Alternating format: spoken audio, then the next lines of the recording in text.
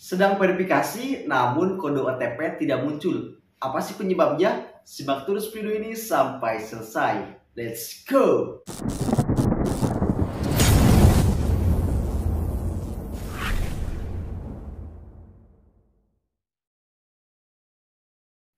Bismillahirrahmanirrahim. Assalamualaikum warahmatullahi wabarakatuh. Selamat datang di Rili Channel. Channel yang bahas berkaitan seputar administrasi pelayanan publik Dari mulai BPJS Kesehatan, BPJS Ketenagakerjaan, Distuk Capil, lapor pajak, dan semua administrasi pelayanan publik lainnya. Jika kamu memiliki permasalahan seputar administrasi pelayanan publik, kamu wajib subscribe channel ini. Baik teman-teman, di kesempatan kali ini saya akan membahas berkaitan tentang kode OTP yang tidak muncul ketika teman-teman melakukan pendaftaran auto debit pada BPJS Kesehatan. Nah, penyebab yang pertama yaitu ketika teman-teman ingin mendaftarkan sebagai peserta BPJS Kesehatan, teman-teman diwajibkan memiliki rekening yang tertaut pada M-Banking. Jadi artinya teman-teman wajib memiliki M-Banking ketika teman-teman ingin daftar BPJS lewat aplikasi mobile JKN. Nah yang kedua penyebab kode OTP tidak masuk teman-teman salah memasukkan nomor handphone ketika teman-teman mendaftarkan auto debit. Untuk memasukkan nomor handphonenya yaitu nomor handphone yang terdaftar di M-Banking ya teman-teman bukan yang terdaftar di aplikasi mobile JKN. Selanjutnya yang ketiga, ketika teman-teman gagal mendapatkan kode OTP, yaitu karena pada nomor handphone teman-teman tidak ada pulsanya. Karena untuk mendapatkan kode OTP dari pihak BPJS Kesehatan, teman-teman wajib mengisikan pulsa pada nomor handphone teman-teman. Artinya bagi teman-teman yang pulsanya nol, kemungkinan kode OTP-nya tidak akan pernah masuk. Nah, jadi saran saya silakan teman-teman untuk mengisikan pulsa terlebih dahulu. Untuk pulsanya minimal Rp1.000, teman-teman juga bisa mendapatkan kode OTP dari BPJS Kesehatan ini ya.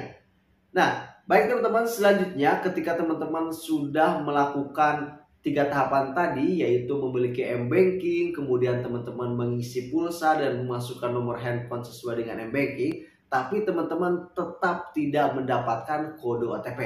Nah, di sini ada beberapa bank yang memang tidak bisa untuk ditautkan sebagai auto debit di BPJS Kesehatan ya teman-teman. Ini adalah banyak sekali pengalaman-pengalaman dari subscriber channel yang sharing di kolom komentar yaitu untuk Bank Mandiri untuk saat ini belum bisa ya teman-teman saya kurang tahu nggak bisanya kenapa biasanya kan Bank Mandiri itu menggunakan aplikasi Lipin ya teman-teman nah itu belum bisa ditautkan sebagai auto debit di BPJS Kesehatan. Kemudian yang kedua Brimo ya teman-teman. Untuk Brimo biasanya muncul perlu didaftarkan untuk melakukan pembuatan M-Banking ya teman-teman. Nah, yang paling bagus itu atau yang saya rekomendasikan yaitu bagi teman-teman yang memiliki rekening BCA, kemudian memiliki M-Banking dari BCA, ini sangat cocok ya teman-teman karena untuk auto debit menggunakan M-Banking BCA itu langsung approve ya teman-teman. Jadi lebih mudah menggunakan rekening BCA.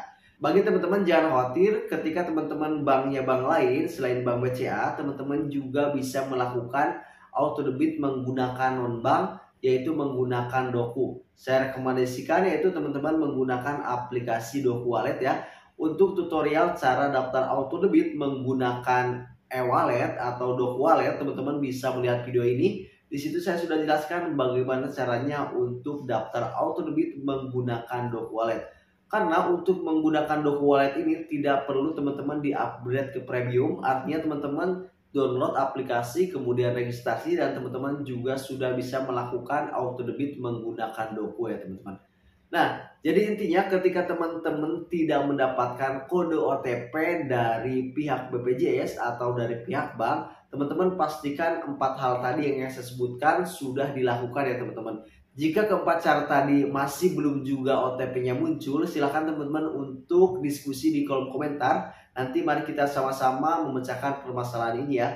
Baik teman-teman, semoga video tadi memberikan manfaat dan menjadikan wawasan untuk kita semua. Dan bagi teman-teman yang ingin bertanya, silahkan tuliskan pertanyaan kalian di kolom komentar. Jangan lupa dukung channel ini dengan menekan tombol subscribe, kemudian nyalakan tombol lonceng untuk mengetahui semua pemberitahuan terbaru dari Red Channel.